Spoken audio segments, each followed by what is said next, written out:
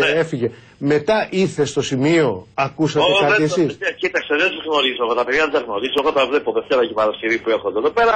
Είναι οικίες οι, οι φυσιογνωμίες που τα δύο παιδιά τουλάχιστον που χτυπήθηκαν.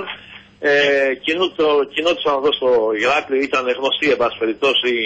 Ναι. Ε, Όχι, λέω μήπως μετά, ας πούμε, ανέβηκε στα γραφεία της Χρυσής Αυγής ή ήταν μεταξύ όλων αυτών που μαζεύτηκαν εκεί και περιέγραψε τι έγινε.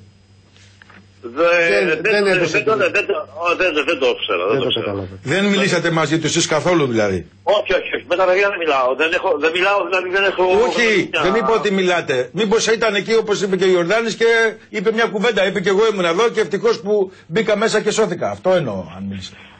Ε, όχι, δεν το άκουσα. Παιδιά, εκείνη τη στιγμή που ε, τελείωσαν οι πυροβολισμοί, για τρία λεπτά υπήρχε στην, ε, στην περιοχή μία νεκρική σιγή. Δηλαδή δεν μίλαγε κανένας, δεν είχε καταλάβει τίποτα.